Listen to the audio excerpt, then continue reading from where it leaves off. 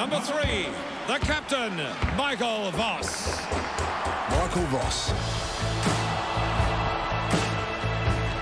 My old captain. He is indestructible. My old coach. The Lion King. Looks like a situation that Michael Voss would relish. His greatness is etched in history. Leader of one of the game's great dynasties. But the Lions have gone back to back to back. A Brisbane Lions legend. Now his loyalties lie south of the Queensland border with this mob. The Blues are through to a prelim final. Can you believe it? Carlton.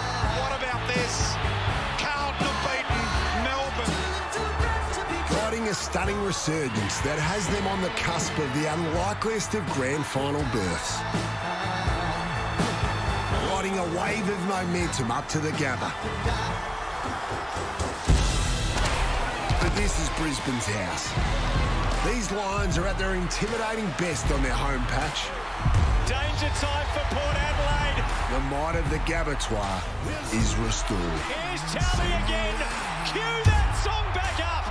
Michael Voss and his Blues to see the last Saturday in September, they must succeed where others have failed in 2023. Unconquered still at the Gabba. Conquer the Lions at the Gabba. He's strong. He's bold. He's brilliant. Has he kicked the goal? He has. He kicked the start of the game. Goodness gracious, can you believe it? It's Brisbane and Carlton. Without doubt, the person that's going is a Carlton person. Preliminary final football.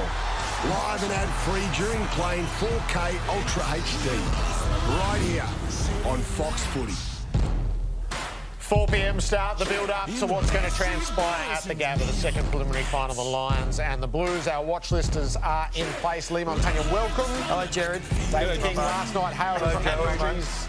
Last night Howard is the industry's leading expert, which we've known for many years. King, Not even best of you, congratulations. Not even best of you you. here.